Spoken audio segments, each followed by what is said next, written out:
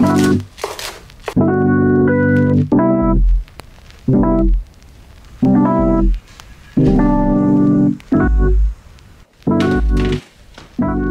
everyone, welcome back to my channel. In today's video, I'm gonna be doing another huge meal prep for the week, but this time I am not at my house. I am back home in Massachusetts for the next few months um, to stay with my family for the summer, and I'm gonna be prepping all of our healthy meals and food for the week. My mom is actually trying out Dr. Fuhrman's diet, the Nutritarian diet, for the first time, and so I'm gonna be prepping all of us a lot of food so we all have some food prepped. So I'll walk you through my entire process. Let's just get started. We bought so many leafy greens from Whole Foods.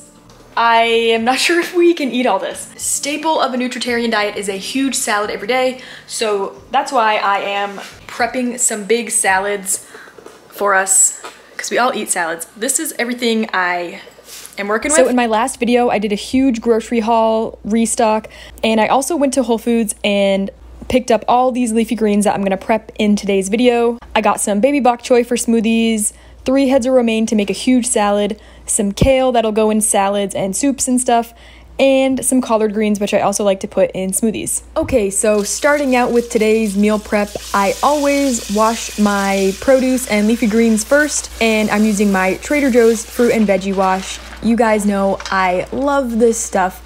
There's a lot of fruit and veggie wash haters in my comments. I don't think it's full of chemicals, like some of you guys say. I, the ingredients seem pretty natural to me, but you can definitely just use white vinegar. I, I use that sometimes. Anyways, I'm washing my collard greens.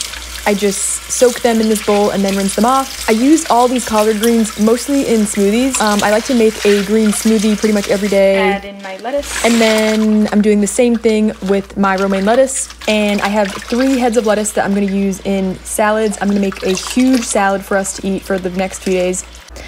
And then I'm also doing the same thing with baby bok choy. I absolutely love to put baby bok choy in smoothies because it has a really mild flavor. You can barely taste it. It's also really good just chopped up in salads. It has a really nice flavor.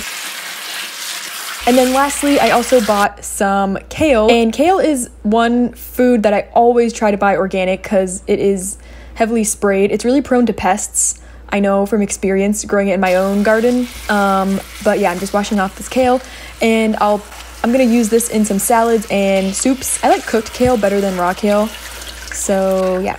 And once everything is rinsed off, I just lay everything out on a dish towel to let the water kind of drip off. And that is my first meal prep step, washing off my leafy greens. This whole process only takes like 15 minutes. It's really quick when I'm just like doing it by myself. My mom had these huge tubs in her pantry, so I thought these would be perfect for my meal prep. The other thing I use, just plain old freezer storage bags. I try to use less plastic, but this is like, I'm very limited in what I have to work with. I'm gonna put some of my greens in the bag so it'll be like easier to fit in the fridge. Very compact. I'm just gonna tuck a paper towel in here and our organic, freshly washed kale is ready for use.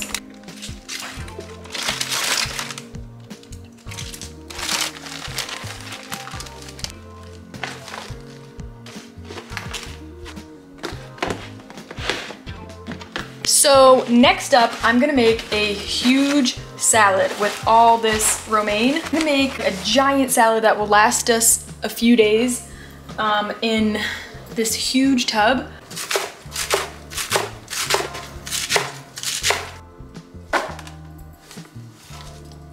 I'm gonna shred up some of the kale that I just put away and I'm gonna try to do it really, really small.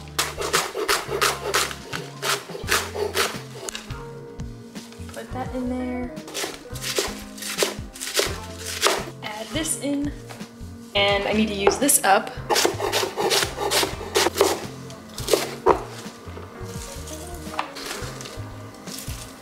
Next, I'm gonna do like half of this onion.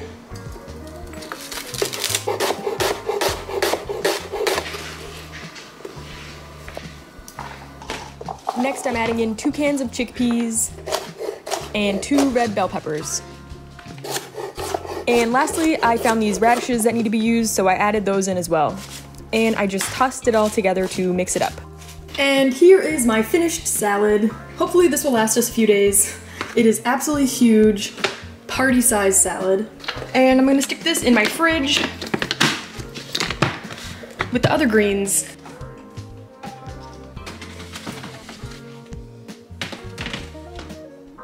Let's stick these in here. There we go. All my greens prepped in just one shelf. Next up, I'm going to prep some lentils in the Instant Pot. I'm gonna make lentil burgers. I was also gonna make a chowder just to have like a soup ready to go for whenever anybody's hungry. Um, so that's what I'm gonna do next. But I only have one Instant Pot here, so I can't prep as many things at once. I'm gonna do two pounds of lentils so that I have enough to um, lentil meatballs or lentil burger patties. First, just wash them and I'm just gonna rinse these out in the sink. Okay, so I washed these off. This is gonna make a ton of food. I'm gonna add in four cups of veggie broth, some garlic. I'm using about four cloves, but this probably isn't a lot compared to this amount of lentils. One onion, a couple teaspoons of liquid aminos, some Mrs. Dash. Okay, I've learned that you kind of have to be careful with the Mrs. Dash because it is very peppery um, so it's really easy to like overdo it and put way too much pepper in it. Some Italian seasoning.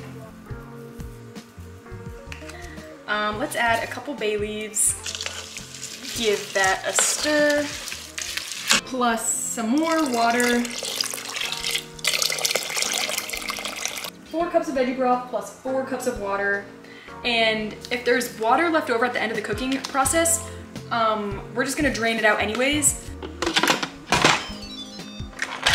And these are small lentils, so these only cook in like eight to 10 minutes. So I'm gonna press pressure cook for, let's do nine minutes. Okay, so here's how the lentils turned out. I did a full natural release, and I wish I released it a little sooner because they are slightly overcooked, but that'll be okay for my, um, since I'm making them into burger patties, it'll be okay. So I'm gonna put these in containers and then I'm gonna make my corn vegetable chowder. Okay, so next up, I'm gonna make a corn lentil veggie chowder in my Instant Pot. I'm just gonna throw all these veggies in at the same time.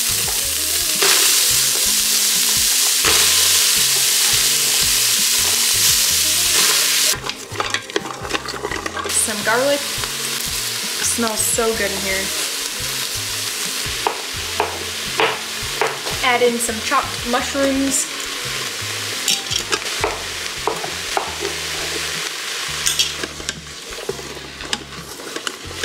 Next I'm adding in one pound, my camera's overheating, but I'm adding in one pound of red lentils, some turmeric, ground thyme, some black pepper, that was a lot, a couple bay leaves, and four cups of veggie broth,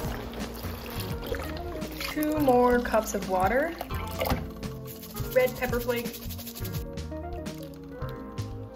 I'm gonna add in some zucchini and summer squash. Okay, so this is what our chowder is looking like. I'm gonna pop on the lid, let it cook, and then at the end of the cooking process, I'm gonna add some corn, kale, and either coconut milk, or I'm gonna blend up some hemp seeds to make it creamy. So I'll show you my full meal prep once it's done. Um, you know what, I just tasted it. It needs just like a hint of liquid aminos. So I'm just gonna add in a couple teaspoons. You could use coconut aminos too, it's lower in sodium.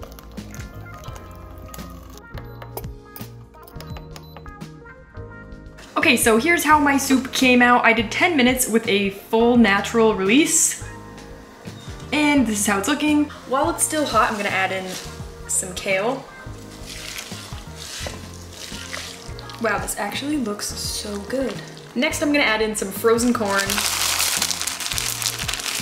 Next up, I made a little cream sauce using 3 fourths cup of cashews, quarter cup of hemp seeds, and about a cup of water.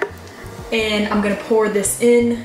Um, this is just a really basic cream sauce. Coconut milk would be absolutely divine in this. Um, since my mom is doing like a stricter diet, I wanted to use hemp seeds and cashews to make it lower saturated fat.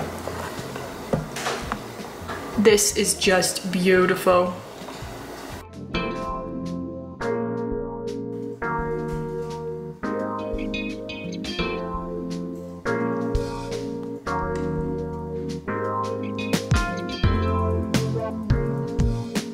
And here is my finished meal prep so far. My huge salad, all the greens I washed and prepped.